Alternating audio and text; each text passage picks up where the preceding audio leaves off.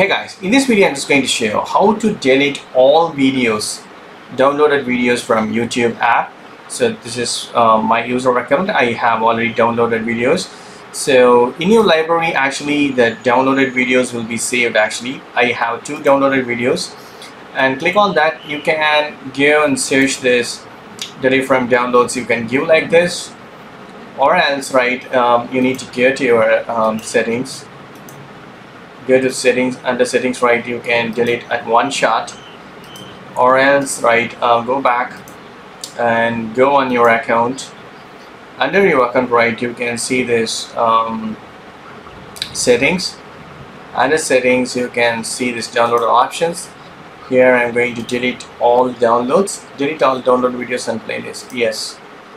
So 176 MB I have used. Now now it should not be shown on my library. I'm going back to check on my library. So nothing is there. So I have deleted. That's it. Thank you so much for watching my video. Please provide comments and feedbacks in my video form. Thank you. Bye